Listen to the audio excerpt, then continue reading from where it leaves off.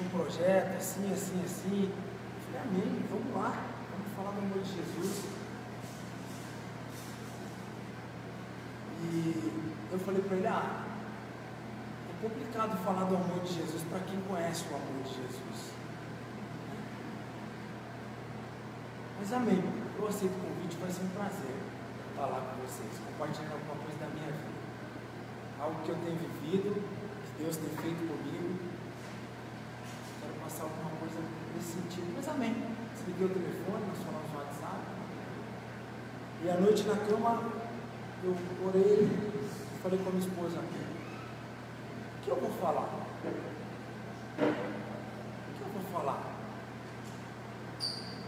Porque o meu testemunho edifica para quem não conhece Jesus. Né? As pessoas que conviveram no mundo com bebida, com prostituição, mentiras, com, é, tudo aquilo que não agradava a Deus. Então, meu testemunho encaixa nessas pessoas, os jovens, né? Todas as vezes que eu tenho oportunidade de falar para jovem, eu vejo que Deus faz, as pessoas choram, os jovens. Obrigado, pastor. Os jovens choram, as pessoas pedem para que eu ore. E sempre que tem um. Sempre que eu faço um apelo para alguém, pastor, convida alguém para aceitar Jesus. Sempre tem um jovem, porque identifica com o meu testemunho. Criado na favela, é, fui criado na igreja, com 14 para 15 anos comecei a beber, bebia muito, fui um alcoólatra sérios problemas com, com alcoolismo, gostava muito de rodas de malandragem. Então, todas as vezes que eu falo isso, identifico com os jovens. Porque, porque 85% da classe nossa é média para baixo. Então as pessoas se identificam, pô, Roger foi um dos nossos. Pô, e aí, Roger? Pô, hoje Deus deu uma história. Né? O Senhor me tira do anonimato, me faz um vencedor. Coloca eu para ser artilheiro do Campeonato Paulista, onde tinha Ricardo Oliveira, Gabigol, enfim, um monte de jogador top. E Deus muda a história e pô, geralmente, pá, eu, não tem erro. Tem, é acerto. Dou meu testemunho, as pessoas, eu começo a contar as coisas que Deus tem feito, as pessoas começam a ver o que Deus tem feito na minha vida, os resultados que Deus tem feito. Mas aí eu pergunto para Deus, Senhor, falar com o povo crente. Uma experiência nova. Porque eu tenho ido a algumas igrejas, eu tenho dado meu testemunho, compartilhado alguma palavra, mas sempre em cima do meu testemunho, daquilo que, que eu vivia, para o que eu vivo, para a mudança que Cristo fez na minha vida, enfim. E aí eu orei. Senhor, comigo, vai primeiro, por favor, eu preciso que o Senhor fale comigo primeiro. Você quer falar com alguém lá, com aquele povo. O Senhor viu que eu aceitei de coração aquele convite, né?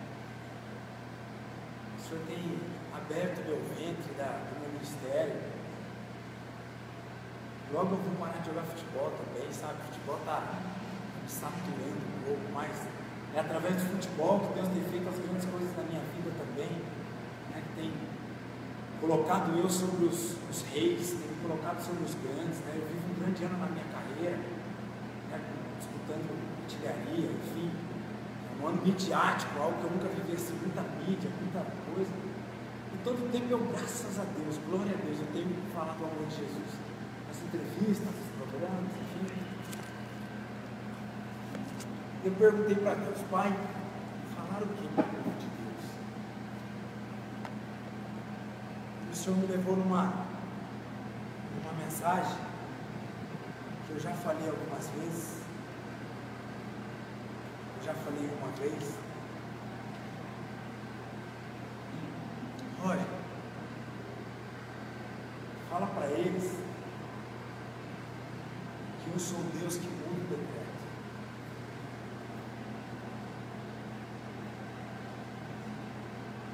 Todo decreto que tem na vida deles pode ser mudado por mim. Isso aqui de Deus, isso é da minha cabeça. É da minha cabeça isso.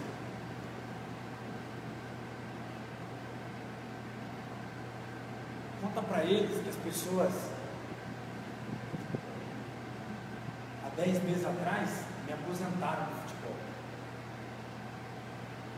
Conta para eles que há dois, três anos atrás, você na igreja, as pessoas davam o seu casamento como acabado, falido, estava decretado que era o teu filho.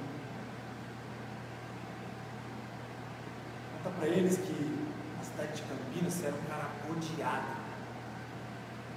Primeiro porque tem um lado que tem uma certa inveja, né? Mas tem um lado que tinha muita razão. Vivemos pagode aí, eu causava na cidade. E se alguém me conheceu antigamente sabe o que eu estou falando. Eu arrumava muita briga, era um cara problemático por causa da bebida. Conta para eles, filho, que eu mudei o decreto na tua vida. Fala para eles lá que eu vou mudar alguns decretos na vida deles. Que tem um decreto que sou eu que permito. Que eles estão repreendendo Satanás alguns decretos, mas não é Satanás que está permitindo essa luta aí. Sou eu que estou permitindo. Umas três horas da manhã, minha esposa, olha, você não vai dormir, filho? Eu falei, amor, foi desse jeito, pai. É algo que o Senhor falando comigo aqui, eu, eu não sei se é isso aqui, mas só pode ser. Faz tempo que eu estou nesse. Essa conversa com Deus na, na, mente, eu não consigo dormir, as coisas estão. Parece que não, não é isso, mas eu, eu pedi para que Deus falasse comigo. Deus está falando para eu passar para o povo que Ele quer mudar um decreto que Ele está permitindo algo na vida do povo dele para que mude, para que quebre algumas coisas. E ela disse assim, filho, se Deus está falando, fala. Eu tenho visto quando você tem orado, quando você tem buscado, Deus tem falado com você. Fala assim com o povo. Fala isso que está no teu coração. Então assim, eu quero fazer uma palavra simples, mas é do, do meu coração. E eu tenho certeza que Deus vai falar no coração de vocês. Amém? Está em Jonas, capítulo 3.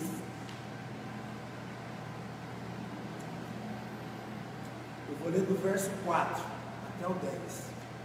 Amém? E começou Jonas a entrar pela cidade de caminho de um dia, e pregava e dizia: Ainda 40 dias e Nínive será subvertido. Os homens de Nínive creram em Deus e proclamaram jejum, e vestiram de panos de saco desde o maior até o menor. Porque esta palavra chegou ao rei de Nínive, levantou-se do trono, tirou-se de suas vestes, cobriu-se de pano de saco, assentou-se sobre a cinza e fez uma proclamação, que se divulgou em Nínive por mandato do rei e dos seus grandes, dizendo: nem homem, nem animais, nem boi, nem ovelhas provém coisa alguma, nem se pastos, nem bebam água. Mas os homens e os animais estarão cobertos de panos de saco e clamarão fortemente a Deus, e se converterão de cada um do seu mau caminho e da violência que há em suas mãos. Quem sabe se voltará a Deus e se arrependerá e se apartará do furor da sua ira, de sorte que não pereçamos. E Deus viu as obras deles, como se converteram no seu mau caminho, e Deus se arrependeu do mal que tinha dito que faria a Nínive. A gente está já, nós que estamos na igreja, estamos cansados assim, de ver essa palavra, né? Ah, Jonas desobedeceu, enfim, jogaram Jonas no navio, aquela história, desobediente. Meu Deus, é, é aqui, vamos Deus tinha um decreto sobre o povo de, de, de Nínive. Deus tinha um decreto sobre o povo de Nínive. Jonas, vai lá e fala para esse povo aí que eles estão de brincadeira. Eu vou arrebentar esse povo. Chega. É prostituição, é idolatria, mamon, é sacanagem, é mentira. Vai lá e fala para os caras que em 40 dias eu vou arrebentar com eles. Eu, o Senhor, estou falando isso aí. Então eu aprendo aqui que tinha um decreto de Deus sobre ele. Era uma ordem de Deus. Estava certo que isso ia acontecer com o povo de Nínive. Tinha 120 mil habitantes nessa cidade. E a primeira coisa que eu aprendo aqui dessa mensagem está no versículo 4.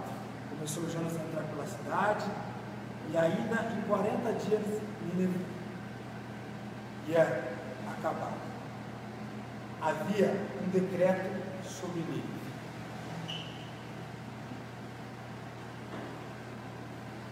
Muitas vezes na minha vida houve decretos. Muitas vezes. Nós que somos jogadores de futebol, há sempre um decreto. Quando eu vim para Jesus, as pessoas falavam assim: vamos ver até quando vai durar. Vamos ver até quando. Ah, Roger gosta de um pacote, gosta de uma bebida. Ixi, não vai aguentar muito tempo com essa vida aí. Isso era um decreto na minha vida. Só que era um decreto do homem. E aqui nós estamos vendo que é um decreto de Deus. Roger, mas Deus muda de opinião? Ele volta atrás? Voltou atrás. Teve algumas coisas que aconteceram nessa passagem aqui que mudou o plano de Deus sobre mim. Eu li um pouco mais sobre a história. Para você entrar em Nínive, a prostituição era coisa meio que era uma carta de entrada na cidade, você tinha que se prostituir, você tinha que estar no meio de coisa errada, era uma coisa meio. Você entrou, você está taxado. Então Deus tinha um decreto sobre aquele povo.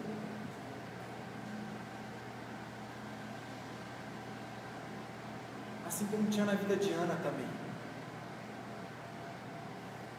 Tinha um decreto sobre Ana. Em 1 Samuel 5. E Deus fechou o ventre de Ana. E Deus fechou o ventre de Ana. Havia um decreto na vida de Ana. E muitas vezes assim somos nós. Decreto de Deus nas nossas vidas. O Senhor decreta algumas derrotas para nós, algumas portas, que é para que nós possamos voltar. Ou para que a gente faça como era antigamente. Ou para aquele primeiro amor ou para aquela horinha de oração na madrugada, ou para que a gente saia daquele grupo de WhatsApp que não está agradando a Deus e nós estamos nem aí, né? Pô, o que meus amigos vão pensar? Então havia alguns decretos aqui nessa cidade.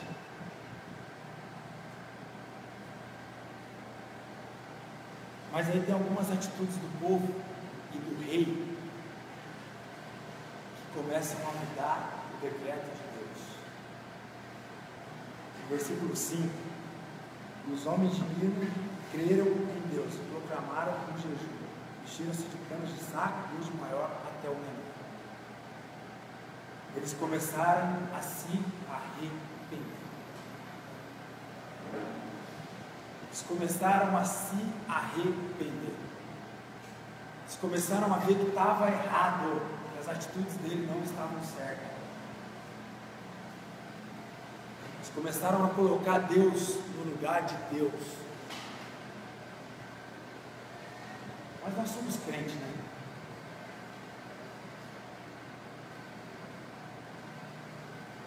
Nós somos crentes, às vezes a gente não precisa que ninguém fale a palavra de Jesus para nós. Nós sabemos citar um salmo, nós sabemos colocar a mão na cabeça de alguém e orar. O problema é que nós não sabemos se arrepender. O problema é que nós não sabemos chegar no Pai, conversar com o Pai, se arrepender das coisas erradas que nós temos eu aprendo com o povo de Nínive que o povo começa a mudar o decreto do rei. Porque o rei também entra na onda dos caras. Ele fala, o quê? Deixa eu seguir o povo. Tem um decreto de Deus vindo aí. O rei já dá ordem na cidade. O rei já começa, pode parar. Esse rei já devia saber quem era Deus. Porque se ele toma uma atitude de mandar o povo rasgar as vestes, jejuar, quebrar os deuses, já sabia que isso aquilo ali não agradava a Deus. E eles começam a ter atitude de arrependimento. Então essa era a primeira coisa que eu queria deixar Senhor está pedindo para que nós se arrependamos. Nós se arrependemos, Senhor. Estamos precisando ter um, um tete com o Pai. Estamos precisando se arrepender daquela crítica, daquele orgulho. É muito difícil para mim, jogador, para eu, jogador, quando as pessoas falam assim, ó, você tinha que ter chutado aquela bola. Eu falo, você não estava lá. De fora é fácil. Só que depois eu vou ver na televisão e eu falo, ele tinha razão.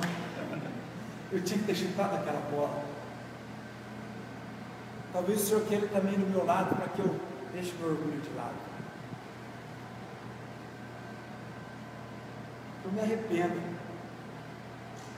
O povo mudou, começa a mudar o coração de Deus. Eu acredito que Deus deve ter falado assim para Jesus, não lá no trono, eu vou arrebentar os caras. Chega. Os caras estão tá brincando. 120 mil pessoas, eu vou acabar com os caras. Olha lá, Jesus. Olha lá como é que está lá. Os caras não querem nada com nós. Nós já libertamos, nós já fomos no deserto, já demos comida para esse povo. O povo já viu o fogo do céu, já cuidamos dessa. Eu não quero, eu vou arrebentar esse povo. Eu acredito que Jesus depois, né, vai ter a atitude linda de morrer por nós. Deve ter falado, pai, calma, pai. Calma, pai, eles vão se arrepender, calma. Dá mais um tempo para eles. Deve ter intercedido pelo pai, né? por todas as atitudes que Jesus já mostrou, eu acredito que foi essa atitude de Jesus. Pai, calma, não, não arrebenta os caras. Nós que criamos eles, pai. Nínive é nossa também. Não vamos arrebentar. Calma, pai. Mas o povo tem uma atitude que chama a minha atenção. E começa a chamar a atenção de Deus. Eles começam a se arrepender. Que nessa noite nós possamos se arrepender. Possamos se arrepender de coração mudar alguns hábitos. Eu preciso melhorar muito, Muito. Eu acho que as coisas só acontecem comigo às vezes, sabe? Minha mãe, hoje eu estava compartilhando com o amigo meu Otávio tá aí. Meus irmãos, né? Não é o Eduardo que está nos Estados Unidos. Está nos Estados Unidos, mas me liga aqui direto. Faz alguma coisa, velho. E às vezes o meu lado de um, eu falo, está lá do outro lado, fica trazendo problema para mim, pelo amor de Deus, deixa eu seguir quieto aqui. Talvez Deus não queira isso, né? Porque nós temos um som de rei. Ou no mínimo de príncipe, né, pastor? Porque se nós somos filhos do rei, na hierarquia nós somos príncipes. Nós podemos mudar a história da nossa família. Com arrependimento, com perdão, pedir um perdão para quem precisa. O povo começa a mudar a história aqui. A segunda atitude que eu acho linda do povo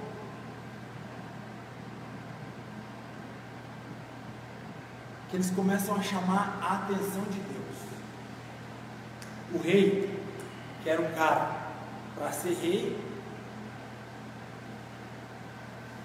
eu não tenho certeza, mas eu acredito que ele não era da geração de Acabe, né? Aquela geração foi. Não dá para falar a palavra, mas foi uma, uma benção.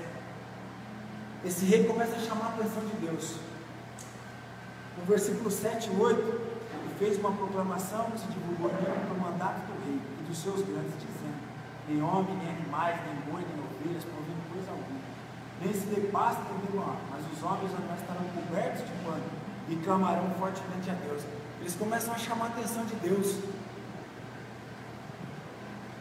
O cara chega e decreta, está tudo errado. Nós cumprimos um princípio. A gente se arrependeu, vamos chamar a atenção de Deus, que talvez ele mude o decreto dele contra nós. Nessa noite eu quero confrontar nós em algumas coisas. Como tem sido a nossa atenção com Deus? Nós estamos chamando a atenção do Pai. De novo, eu me coloco na posição de entender Deus, né? Jesus já está lá do lado e falando, pai, olha lá, começaram a mudar, pai. Os caras já estão de jejum, os caras estão clamando por nós. Lá, pai. Calma mais um pouco, não arrebenta os caras não. Eles estão mudando, olha a atitude deles lá embaixo. Olha lá. Eles jejuaram até os animais, pai. Está tudo em jejum lá, eles estão clamando. O cara começa a chamar a atenção de Deus. Estamos precisando chamar a atenção de Deus, povo de Deus.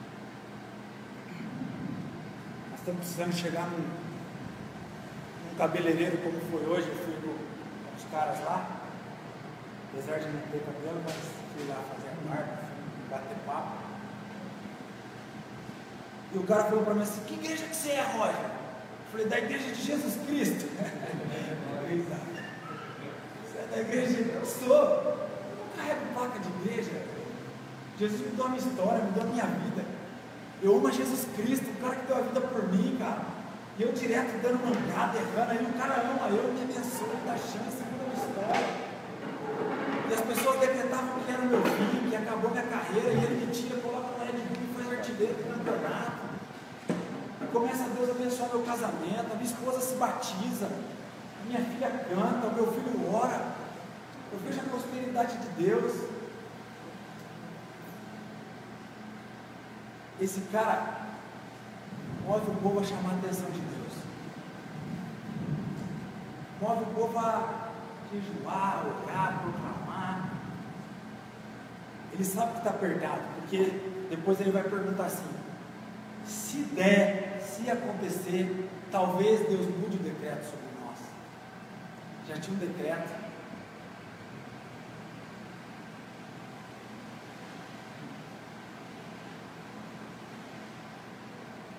Talvez tenha um decreto de Deus na nossa vida. Talvez esse, essa porta que está fechada, essas situações que estão tudo errado, seja o decreto de Deus para que nós possamos voltar a chamar a atenção dele. Eu aprendo aqui que não é só o diabo que fecha a porta, se levanta. Eu aprendo aqui que por amor, por querer salvar um povo, Deus dá um decreto muito duro de que vai acabar com tudo. Talvez nós temos que se perguntar essa noite, será que isso que eu estou vivendo é de Deus ou de Satanás? Será que isso que está fechado, que está tudo travado? Será que não é Deus querendo que eu volte todas as minhas atenções ao Pai? Que eu volte lá no primeiro amor, que não é fácil não é fácil. Não é fácil. É difícil para mim também. Eu convivo no meio que as coisas são fáceis. As coisas são fáceis, televisão é fácil, mídia é fácil, mulherada, com todo respeito às mulheres. Quando vê um jogador é fácil. O dinheiro, o cara acorda morando numa favela e daqui dois dias ele é vendido e tudo se transforma. Ele compra uma casa, compra um carrão, e é difícil de administrar tudo isso também. Que nós possamos entender o que é de Deus e o que não é na nossa vida, irmãos. Que nós possamos voltar a chamar a atenção de Deus como fez esse rei. Rasga a roupa, jejum o povo. Quem sabe Deus não muda o decreto sobre as nossas vidas? Quem sabe Deus não abre, não prepara aquela esposa, aquele marido, não renova o casamento, não dá aquela casa, porque casa, sonho, carro bom, prosperidade. Nós vamos viver o melhor em nome de Jesus.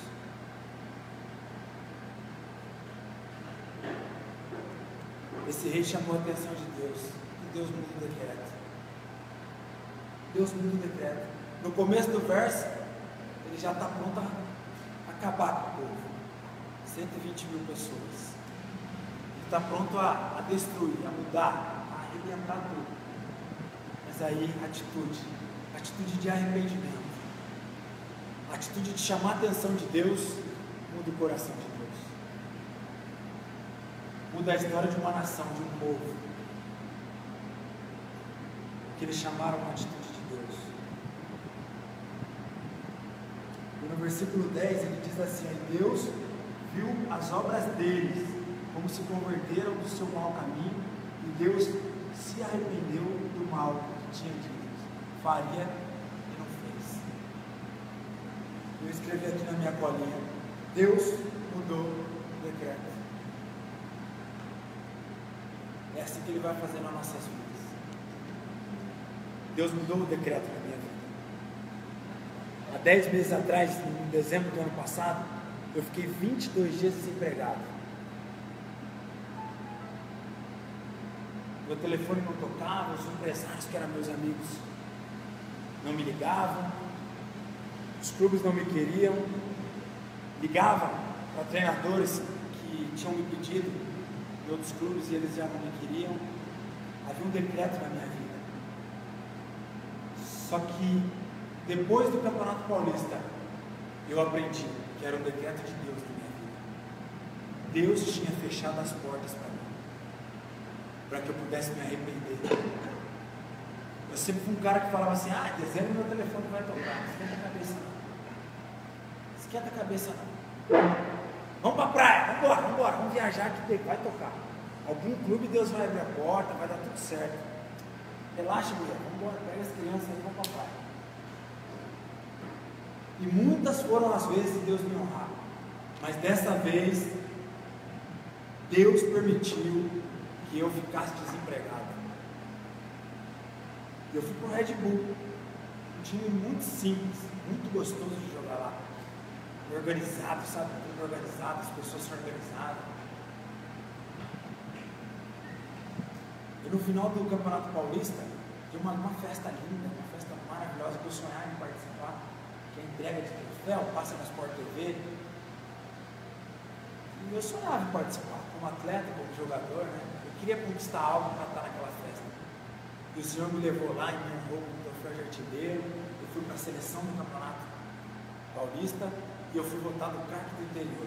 Melhor jogador de todos do interior. E o Senhor me trouxe isso. Eu tinha um decreto na tua vida, filho. Eu precisei fechar a tua madre. Eu precisei te levar lá embaixo para que você se arrependesse. Para você aprender a depender de mim. Para que você voltasse na madrugada a ter um tempo comigo. Para que você voltasse a chamar minha atenção. Que as pessoas pudessem ver o brilho de Cristo em você. E hoje é gratificante, sabe? Eu estar aqui. Estamos 30 pessoas assim. E o que Deus tem feito na minha vida é muito grande, muito grande. Eu me emociono porque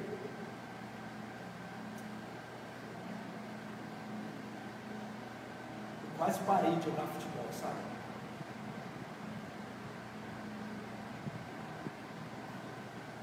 O Senhor me tirou lá de baixo, assim. E me colocou na mesa, assim, de reis, assim, me fez triunfar. E eu falei para ele, Senhor, abre meu ministério. Eu quero falar o que o Senhor fez na minha vida.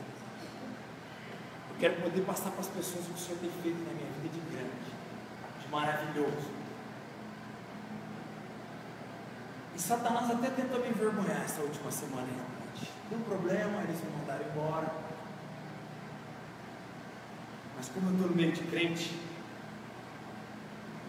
vou falar. A justiça de Deus vai prevalecer a justiça de Deus vai prevalecer.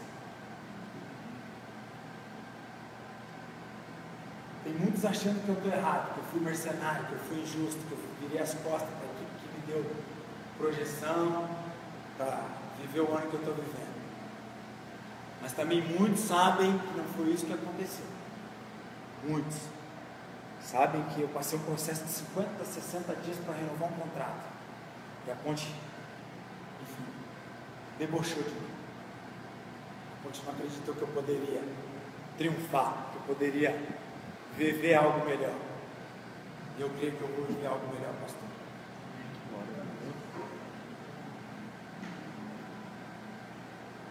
Eu quero deixar uma palavra que o pai Abraão da fé nos deixou lá atrás.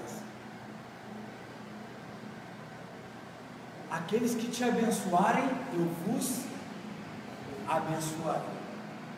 Aqueles que amaldiçoarem, eu vos amaldiçoarei.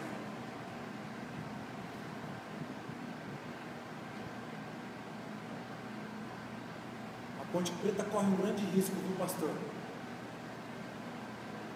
A Bíblia fala que por um, por um, ele muda tudo. Por uma atitude de um rei, ele mudou o decreto de um povo. A Bíblia fala que é daquele que tocar no ungido do Senhor, é como tocar na menina dos meus olhos. Eu sou de Cristo, nós somos de Cristo. É daqueles que se levantarem contra nós. Aqueles que nos abençoam vão ser abençoados. Mas aqueles que nos amaldiçoarem, isso não sou eu que estou falando. É Deus. Eu não quero não, viu irmãos, que eu tenho um carinho especial pela Ponte. Mas eu sei que ela não vai. Ela não vai passar por essa. Porque foi muito injusto. Glória a Deus. Queria encerrar dizendo que o Senhor mudou o meu decreto. O Senhor vai mudar o nosso decreto. Eu creio no Deus do impossível. Eu tenho pessoas aqui para testemunhar o meu final. Eu tenho pessoas aqui que viveram o meu fracasso temporariamente, porque era o tempo de Deus na minha vida.